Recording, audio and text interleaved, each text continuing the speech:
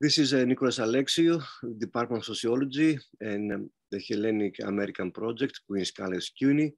And uh, in the series of oral histories interviews, uh, we're very pleased and, and happy to have uh, today uh, a representative of uh, the new second generation of big Americans, um, um Mr. John Theodorakatos, ο, ο αγαπητός Γιάννης Θεοδωρακάτος, uh, John, thank you very much for accepting, for agreeing to having uh, this interview with the Hellenic American Project and be part of uh, our ongoing um, interviews uh, documenting the Greek American uh, community. Thank you. Absolutely. Thank you for having me. It's my pleasure to be here. It's very interesting to see um, uh, the new second generation to getting involved with various aspects of uh, the Greek American and the American society. So uh, let's start first by you, you stating your name and uh, uh the place of birth where you were born. Of course. So my name is John Theodorakatos, and I am a second generation Greek American. And I was born and raised right here in Astoria, Queens, New York City. I am one of three children. I have two older sisters and my parents immigrated from Greece when they were 15 to America, where they laid down their roots. They started their family, and they've been here ever since and made a life for themselves. And today they are American citizens, but very much uh, keep the Greek culture alive in them and everything they do, and sort of pass that down to us. This is very uh, interesting. Do you know uh, something about uh, the family roots? When they came, for example, and uh, under what conditions they were uh, already some relatives here, some friends uh, in, uh, in, uh, in America. I assume they came to New York first? Yeah, of course. So it happened along those lines. My uh, father had come, he's a couple of years older than my mother. So he had come here. He left, they're both from Kefalonia, which is a very beautiful island in Greece, both from the same island. And my mother and her family moved from Kefalonia when she was about five to Athens. And then when she was 15, my grandfather, her father, wanted to start a better life for them because they had family here in New York in the States. So they decided to come to America and start here while the kids were still young. My father had already been here, I believe, as well, because he had left Kefalonia uh, with the Navy. So he had left very young from home. So he had been here in New York already. So they met when, you know, they were both already here. And it sort of happened along those lines. But there was family here. And from what I've learned from asking my parents, it usually happened where one family member would come first, see how things are. They would test the waters and see what life is like in New York uh, and then they would send for you to come or you would come on your own so it happened along those lines so this is uh, very interesting because um, from what uh, I, I understand uh, it is that uh, the grandparents were here first right so this is before the war or around the war after the war I, be- I do believe this was after the war, and my father's parents stayed in Greece. They never came down. He, the, his brothers and sisters, he comes from about eight siblings, my father, and all of them except one uh, left for the States. His parents never came to the States, so the children left on their own. However, in my mother's case, she uh, immigrated here with her whole family my uh, grandfather and my grandmother, and her two sisters and brother. So they came all together as a family. Uh, but in my father's case, it was just the children that came. The parents uh, didn't come. This is about um, uh, the, the 1960s, approximately. This was in the mid to late 60s, yes. Very interesting, very, very interesting. Mm-hmm.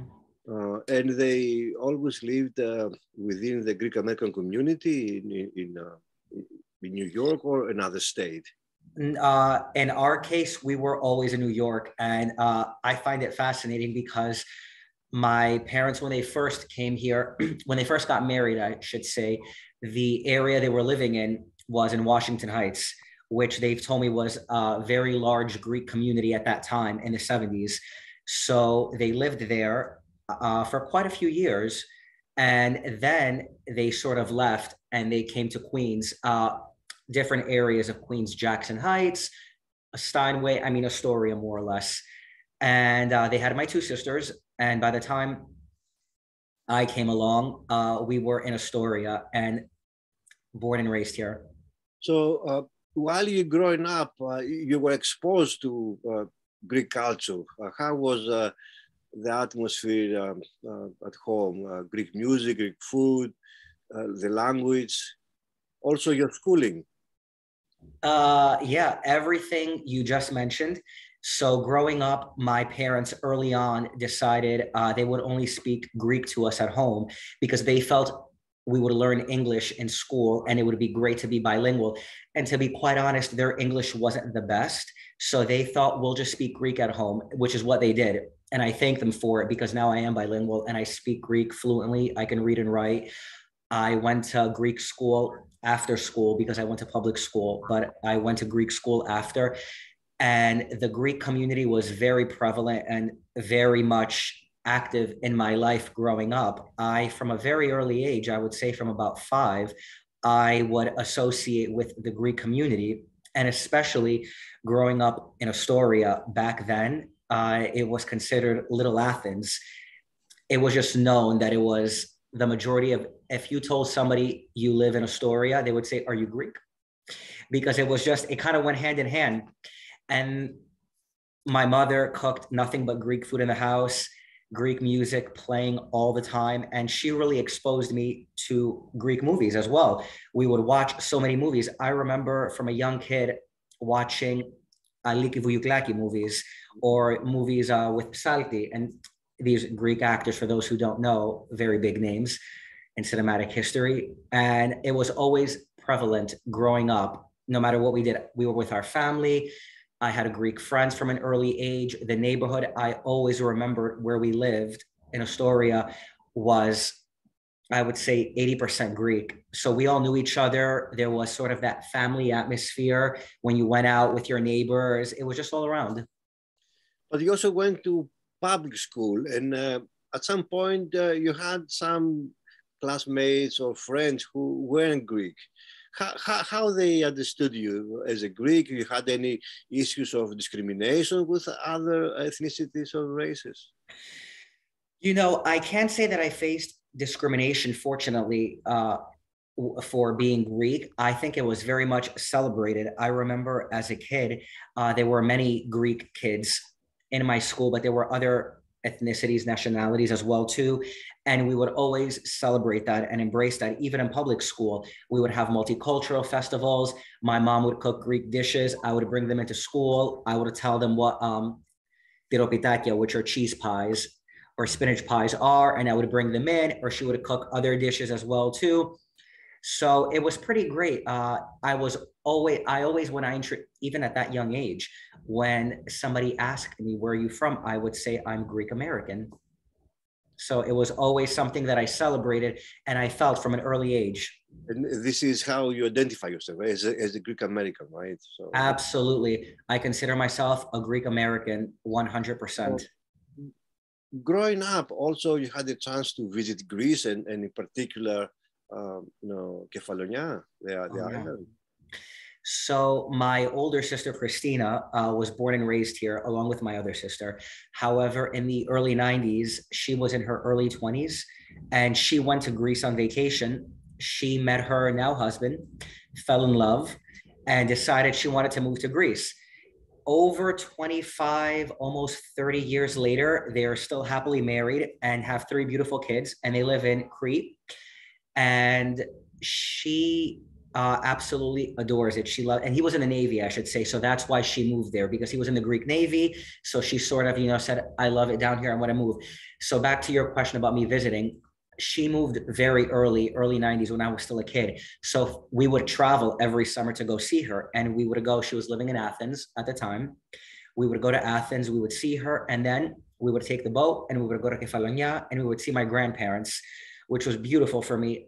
I have the most amazing memories of the village uh, where my father lived and the house and my grandmother and my cousins were there. And I can still almost, you know when you can still smell a memory almost i don't know if that makes sense. You can almost feel it. You can go back in time. That's how i feel when i think about those summers in greece. And it was a very common thing back then all my other greek friends you would literally go to greece for two months school would close and from end of june through early september you would be in greece you would pack your bags and you would go for two months and it was just a common thing and it was expected and it was yeah it was great so this is one of the reasons probably because uh, your Greek is so well, because you had the chance uh, to, to speak earlier uh, in Greek. And uh, I'm very uh, impressed that uh, a new second generation Uh, person you know, is so um, fluent. Uh, I, I, have to thank my parents because it's all their work. I didn't do anything. They spoke Greek to us uh, till this day. that's all we speak to each other. And when I would go to Greece, the kids that lived there were shocked because they said you speak Greek so well, you know about the music, you know about the movies. How can this be? You live in America. And I said, yes, I may live in America, but I consider myself, you know, at heart, a Greek person, a Greek guy. And I, I mean, I am Greek American because I was born and raised here. So to be fair, but the Greek culture, the um, the ethnicity, everything about it, the traditions is always in me how how was uh, the reception you had from um, friends and relatives uh, as an American, as, as a Greek American, or? Yeah. Oh no! Originally, I mean, initially, I should say, they just considered me an American. They didn't even take me, to be honest, seriously as a Greek, a Greek American. Not even. They just considered me somebody from New York that came to visit and then when I started speaking and I was informed about what, you know, was going on in the country, they were like, okay, you know, maybe not everybody's, it sounds funny, but I think they had this notion that they expect you to speak broken Greek, to mispronounce things, to not say them well, which I mean, look, a lot of kids that I grew up with maybe necessarily don't speak Greek as well as I do, but they still very much love the Greek community and the culture. I just, I also, I should mention, always had until this day, I mean, I'm 36, till this day, I have this hunger to better myself when it comes to being Greek. And I'm constantly learning new words that I maybe didn't know. And I look them up and I want to utilize, uh, utilize them in my vocabulary and incorporate them. So I'm constantly trying to better myself uh, learn to read better Greek, learn to write better Greek. So I've I always had that. Even at that young age, I loved music, and sometimes in music they incorporate certain words that you may not use in your everyday vocabulary. And if I heard something like that, I would go to my mom and I would say, "Well, what does this mean in Greek? What does this mean?" And she would tell me, and I was so fascinated. I always wanted to learn more when it came to being Greek. Very, very interesting. And um, do you still visit? Uh, do you still, when you have a chance as an adult now, do you still visit Greece? You know, uh, the last time I went was two years ago, and I sort of told myself, I said, all my American friends have been to other islands to more islands in Greece than I have because I'm Greek. So when I go, I go to see family. I don't get to explore the Greece they get to see. So I said, I'm going to go, I'm going to see family, but I'm going to see two other islands I have not seen. And I was able to go to Santorini and to Mykonos, which were beautiful. But I also went back to Kefalonia and I actually stayed at my grandmother's home in the village. She's passed now and so is my grandfather. So my friend and I, we stayed there. And if I tell you, it was so amazing because I remembered how to get everywhere from her house to town on foot. It's very close. Just from the memories I had as a child when I would go there when I was 10, 11 years old. Uh, so the last time I went was two years ago. Uh, and now with COVID, I, I, mean, I didn't go last summer, but I'm hoping to go again because I would love to see my sister, and I just love going to Greece. It's a oh, magical place. Oh, you're born here. You're an American of uh, of uh, Greek descent, but mm-hmm. what does Greece mean to you? What is Greece for you? I mean, when you think of Greece, you say mm-hmm. it is a country, it is a second country, it is my parents' country it's my second country, I think, is the best way to describe it. Because when I think of Greece, I sort of have that hand in hand with what I consider being Greek. And when I think of what it means to be Greek, it's it's odd because it's my everyday life 50 50 i consider myself 50% of me is greek 50% of me is american the food i eat the music i listen to the shows i see the places i go to the friends i have the family i have so for me greece is my second country it's sort of my home away from home i guess you can say it's the place that you know holds a special place in my heart that I've been going to for many years since I was a kid and I was exposed to it. And it's sort of, I mean, I'm sure we'll touch on this in a little bit, but it's also the Greek history uh, is part of what inspired me to become a writer. So, uh, and then you, you continue your studies. You went to American colleges and universities. Uh, tell us about your studies a little bit and and uh, uh, your presence there uh, as an American, as a Greek, uh, your, your, friends and, and, and, and, and classmates knew that you were Greek. How was uh, the situation in the college years? You know, everyone always knew I was Greek, and I've yet to meet a person. It, it's funny, they're my friends or the people that I've had interaction with throughout the years. Whenever I would meet somebody and say I'm Greek, they're almost fascinated. The first thing I hear is, oh my gosh, I love Greek food. Can you give me a good restaurant to go to? Or do you know this singer? You know, I like her. She's great. Or, you know, that's amazing. I just always heard the best things.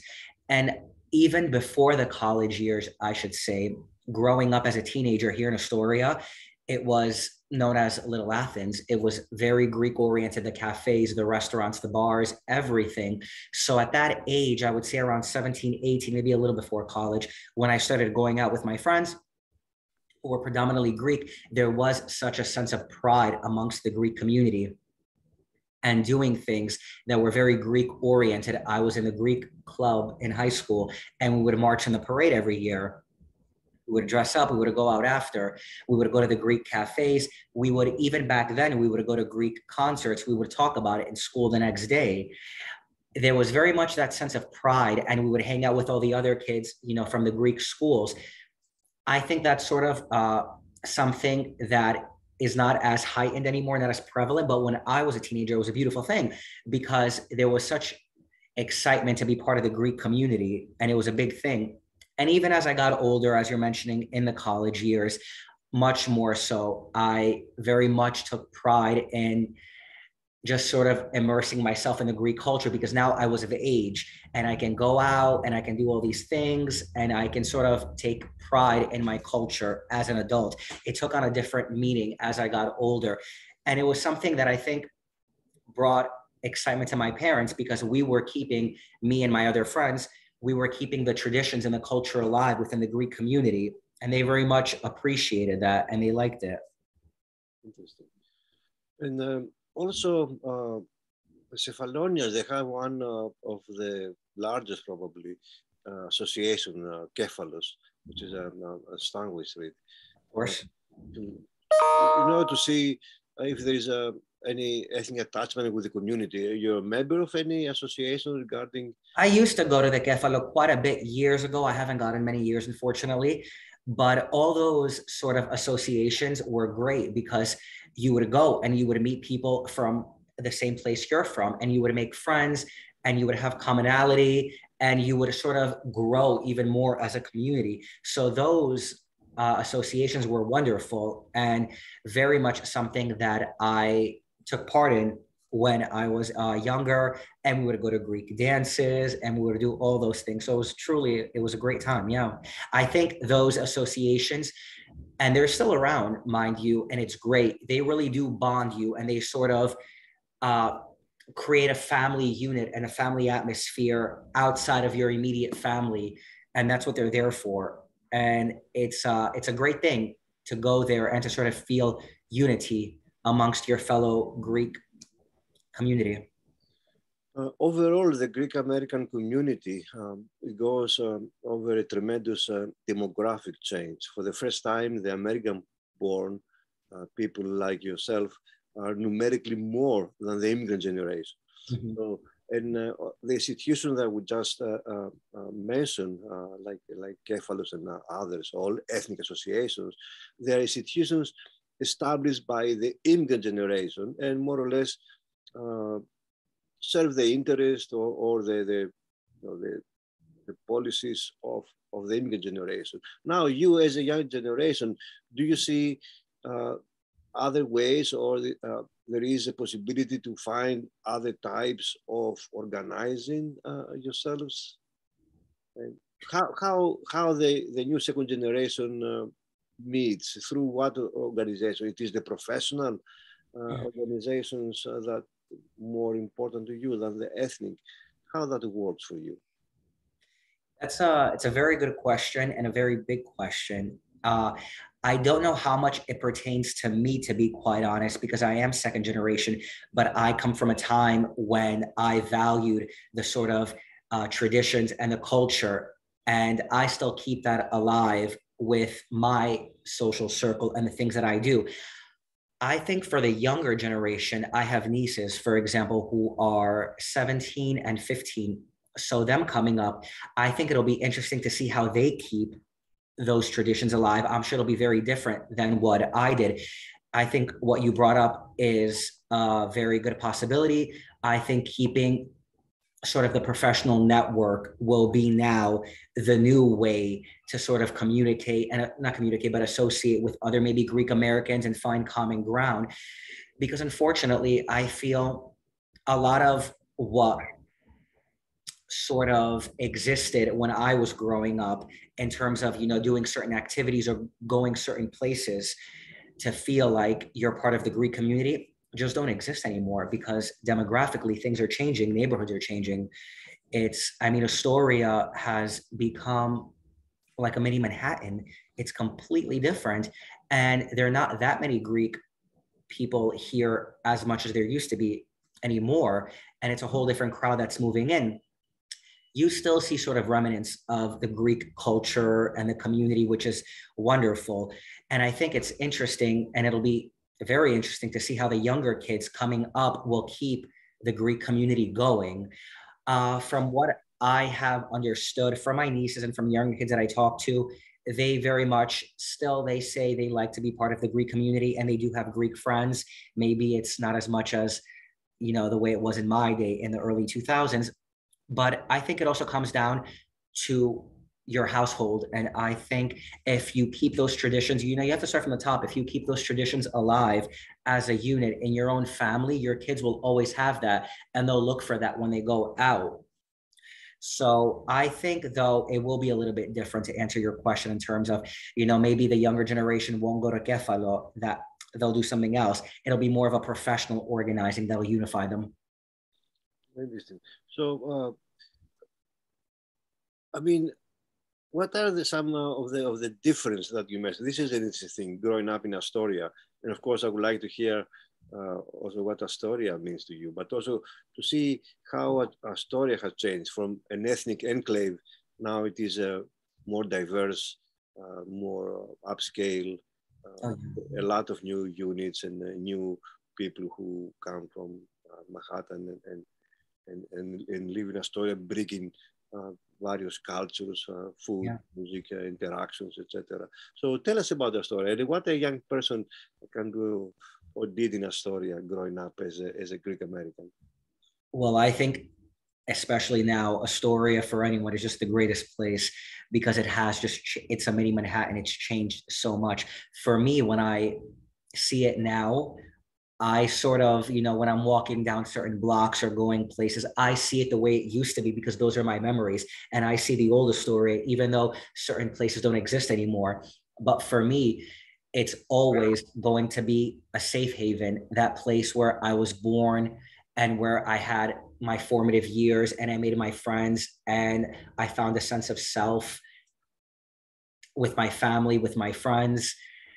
Just everything about it is something that's going to always be in my heart. And like you said, it has changed a lot. A lot of people from Manhattan have moved in. And I would say over the past 10, 12, close to 15 years, it's become so diverse and diversity is good. You, we can sort of, you know, change it.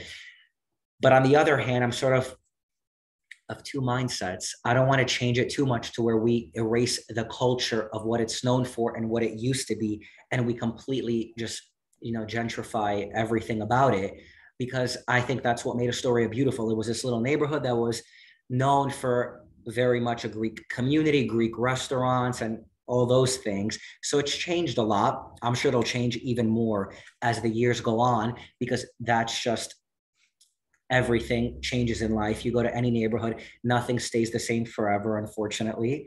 But for me personally, it will always be my home and the place that I grew up and I made my memories. I mean, it's crazy to think, but I was born and raised here in Astoria. 36 years later, I'm still here. So it's it's a pretty special thing.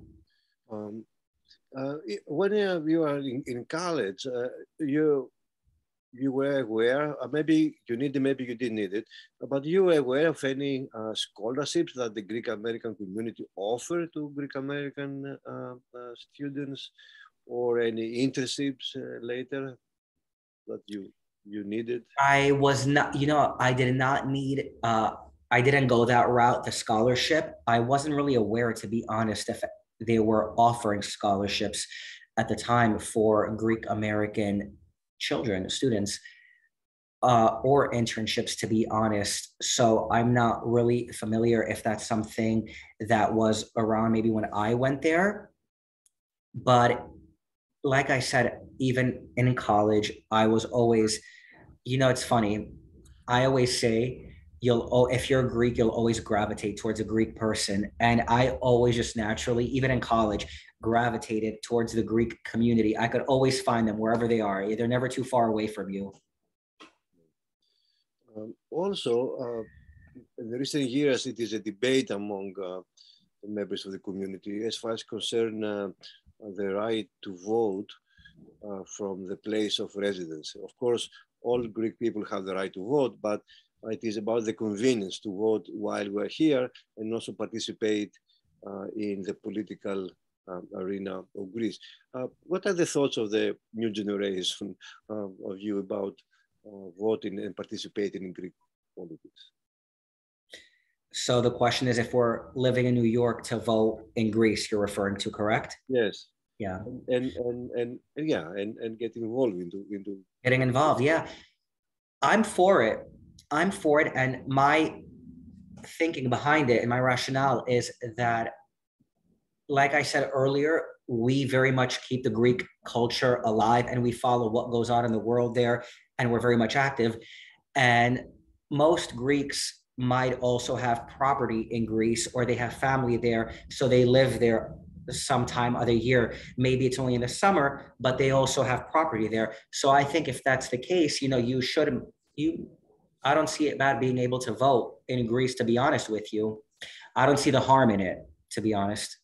I think it would be beneficial and it would be a good thing.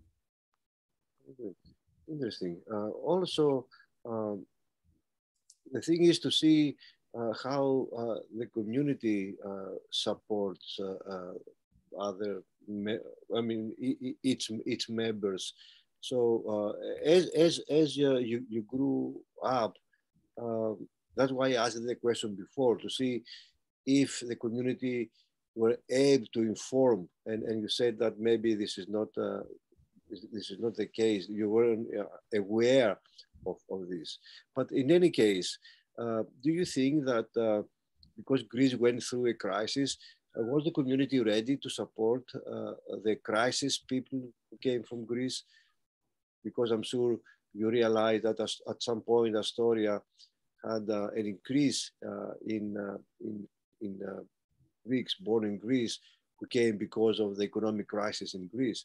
Mm-hmm. Do you think that the community had the, the ability to, to, to support them emotionally or financially? Or, or we failed to do that? That's a tough question. I can't say with certainty that we were prepared for something like that to happen, you know, in our backyard, sort of speak and to sort of be able to help out.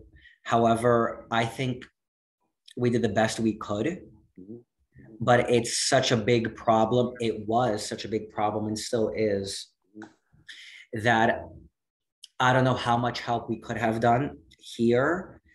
I believe we wanted to try our best, but it, it's it's tough. It's tough to sort of, you know, be able to help someone all the way in a situation like that and give them what they need because there's only so much we can do as a community as a people. It's it's a lot. So i think everyone probably did the best they could with what they knew. And but it's a it's a that's a very big conversation and it's a it's a very big issue unfortunately. It's it's very hard. That's a tough one. So uh you think that uh, at some point uh, you you you see yourself uh, going back and living in Greece, working and living there? Oh, I don't know about working and living in Greece. I love it. Don't get me wrong. And I always say one day I would love to potentially retire in Greece. However, now as a young professional, as much as I love Greece, I think my opportunities here for what I'm doing might be a little bit more accessible to me mm-hmm. living here in the states i do have more opportunities. And this is also coming from having family in greece and talking to them. And you know you mentioned the economic crisis and that whole issue. So it would be hard for me to sort of move to greece as a young professional and start my life there. I have a couple of friends who have done that. They've moved there and they're happy. I don't know if i would be able to do that but i would one day I have thought about living in Greece. I just don't know if I would do it now, but one day I would love to live in Greece. So uh, let's talk about uh, the two years uh, that we suffered the pandemic and the lockdown. Mm-hmm. And of course, uh, before that, uh, we had uh, the, the discussions within the American society regarding race and ethnicity and uh, Black Lives Matter. Yeah. How the young generation living and growing up in a diverse environment uh, uh, experience all of that. Tell us about uh, the, the ethnic and racial issues uh, we have in, in American society and, and also how you experience the pandemic. Oof those were two things that you know i'll start with the pandemic. I think that threw us all for a loop. Nobody was really expecting it. I remember being at work and covid had just come to new york and i had no idea what it was. And my company said to us we're going to send you home for two weeks. We'll see you in two weeks when this is all said and done. Two years later and i was still working at home remote so it was crazy. I don't think that anybody was prepared for stores being shut down, not being able to buy essential products for your house, waiting in line for two hours to buy groceries, all those things. It's definitely one of those things that's going to be in the history books. Where were you when COVID happened, sort of speaking? And it was a very hard thing to sort of wrap your head around. You couldn't see family, you couldn't see your friends, you, your everyday life was completely taken away from you all the things you value and you cherish and the little things you couldn't do anymore. And from my perspective and from friends that i have it truly made me appreciate those things that much more being able to see your family and your friends and the little moments being able to have a cup of coffee with somebody outside. So that was very difficult. I think especially for the younger children that are in their formative years now, I think they might have took it a little bit harder because they're in school, they're young. How much can they learn from a Zoom conversation, a Zoom classroom? It's not the same because they're not only learning when they go to school, you know, their ABCs, mathematics, things like that. They're learning how to socially interact with one another. They're developing their people skills, which is something that you need to be in the presence of other children to do. So I think it did a little bit of damage to them, unfortunately. But I think kids are resilient and they do bounce back just like we do. I personally uh, kept my head pretty strong and I said, okay, this too shall pass. And you know, may take a little bit longer. And there, I had moments where I said, "Here we go again." You know, we're getting better, but now we're about, you know, two steps back. So it was a little bit hard. I was getting frustrated, but you just have to sort of find the positive in everything and see the light at the end of the tunnel. So that was very hard. And the other issue that was happening at the same time you mentioned, you know, the racial tension, Black Lives Matter, that was another very serious issue that was going on in our country, in our community, right here. I witnessed so many things. And that was hard because now I think in the day and age we live in with social media, everything you know we get news that much faster. Everything happens so quick. We all have a cell phone. We all record things. So we're seeing things in real time. Whereas years ago things like this would happen unfortunately but you really wouldn't hear about them until later or they would be swept under the rug. Now it's in our face. And that whole situation was sort of presented to us and we couldn't turn away nor should we turn away from it anymore. So that was very hard. And being somebody that grew up in a diverse neighborhood and having friends of different ethnicities, different colors, what have you, it was hard to watch and it was uncomfortable at times, but we need to get uncomfortable sometimes so we could really understand something and face it. Because if something doesn't make us uncomfortable and we don't face it, we're never going to move past it or make it better. So I think that's what happened in that situation. And we needed that wake up call and we all needed to say, okay, enough is enough. Very interesting. But I think New Yorkers, I'm sorry to interrupt you. I think especially here, New Yorkers are very tough and we're very resilient. So we bounce back pretty quick. I agree. I agree on that.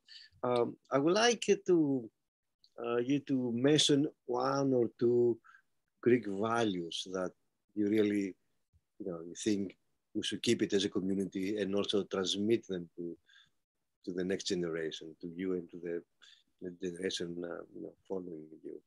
What is something of, uh, that, uh, that you think is worth uh, saving and, and, keeping as, as a tradition, as, as a value, as a Greek value? There are so many things all the traditions, to be honest with you. I remember, again, as a little kid, every year a tradition we had on March 25th, which coincidentally falls tomorrow. Very big day for us, Greek Independence Day. Uh, we would get ready and we would go to the parade and we would watch it every year. And that was a tradition we did. And you would see everyone you knew. So that is something that I would love to see continued. Do even something as small as going to a parade because you really feel a sense of culture when you're there. The Greek cuisine is another thing that I would love to see continue the language i always tell my sisters well my sister here because my sister in greece obviously she speaks greek to her kids. However i tell my sister here speak greek to your daughters so they can keep that you know and have it in the back of their head so they can always have that. There are just so many wonderful things even going to greece. I think if you can if you can financially go to greece and explore that with your family. I think you should always take your children to see their culture and learn their roots. It's a very important thing. I loved going to Greece every summer as a kid. I can't tell you. So I think, yeah, there are so many traditions, but those are some of my favorites that I would definitely keep. And I, I would love for the younger generation to sort of carry on and pass down. Interesting. And um, in concluding um, uh, our this wonderful uh, interview, I would like uh, uh, to tell us a few things about what you do. What, what is your your you know your line that you uh, addressing every day, struggling?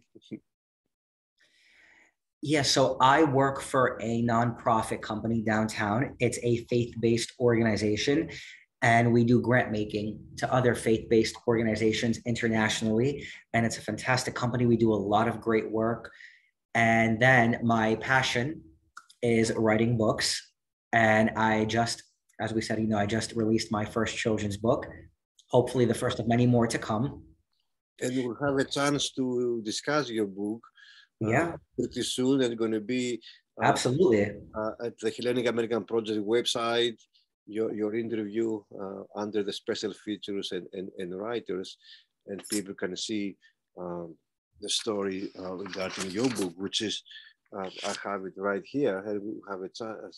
Um, growing up also, um, or later in your life, uh, you're aware of any other Greek American writers, but we'll discuss that later. But if you if you knew uh, any Greek American uh, authors so far? As a child, I don't recall what I do recall I was inspired by as a kid was always not necessarily Greek American writers or Greek writers or sort of you know Greek books.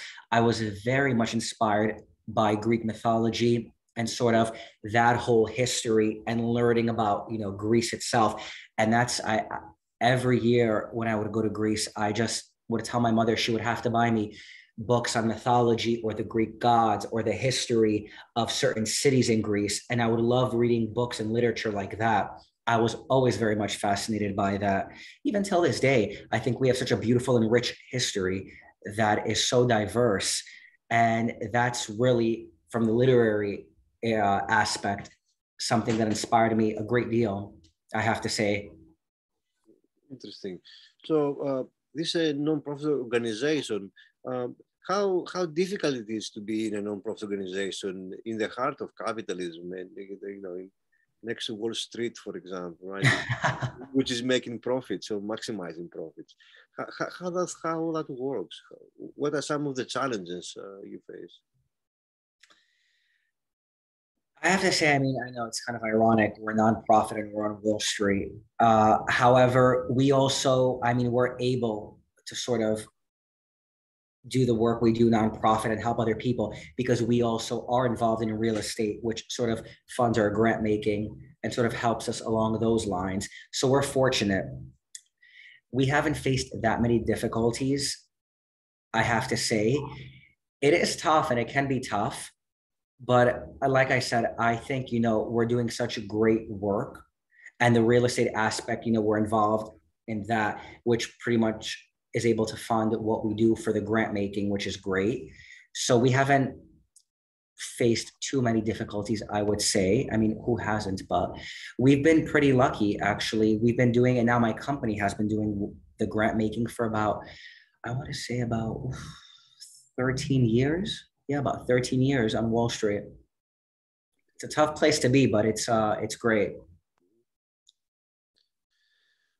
Uh, thank you very much uh, for this interview. And uh, thank we'll you. Continue discussing uh, your marvelous uh, book, which, uh, as I said, and I will say it again later, that I find it very hard to write for children, and I want to congratulate. thank you very much for that. Um, and, and, let's say something in Greek because I, I want to document the the the, the, how uh, affluent you are in Greek, and I, would like to document that. Uh, at least your name or something you would like to say in Greek. Τι με θέλετε να πω; Με λένε Γιάννη Θεοδωρακάτο. Και από πού είσαι; Και από πού είμαι; Κεφαλονίτης είμαι, από τους δύο μου γονείς. Γεννήθηκα εδώ πέρα στη Νέα Υόρκη. Αλλά και δύο μου γονείς από την Κεφαλονιά είναι. Και τι να πω για την Ελλάδα. Είναι μέσα στην καρδιά μου πάντα. Μέσα στην ψυχή μου, στο μυαλό μου. Ε, τα εθήματα, η κουλτούρα μας είναι κάτι που πάντα τα κρατάω μέσα μου και μαζί μου και ελπίζω και εγώ στο μέλλον, αν κάνω και παιδιά, θα τα συνεχίσω και χαίρομαι. Thank you very much. Yeah, this is very important to see um, uh, the new second generation speak um, Greek so well and understand Greek, uh, having this strong uh, ethnic identity and attachment. Uh, uh I think Uh, this identity is, is very important. Encouraging, very encouraging to see that. It is, and I think identity, no matter what ethnic group you belong to, is very important, and you should always be proud of where you're from.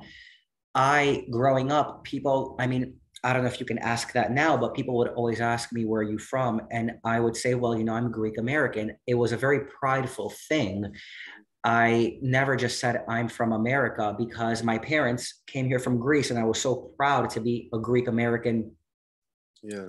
uh, child. And you see, so great. You see that uh, uh, Greeks in America they have come a long way because in our days, you know, uh, it is very compatible to be both an American and, and, and Greek, and, and that wasn't the case uh, always with it wasn't and i think with many uh, ethnic groups I think when you came to the States years ago, you would have to identify as American so you can get work, so you can live. It was very different. Now, and for years, I would say it's become more acceptable to sort of, you know, embrace your culture and your background and not fear discrimination. I mean, back in the day, people would change their last names to have their last name sound more Americanized, which I mean, now we don't do that really anymore, but it is something that happened in the past. So we have changed uh, quite a bit and come a long way, which is great. John Theodorakato, thank you very much. Uh, I thank you, ευχαριστώ πάρα πολύ. For this interview with the yes. American Project. And uh, uh, we'll continue discussing your book uh, in, in a few minutes. Absolutely. I can't wait. Thank you.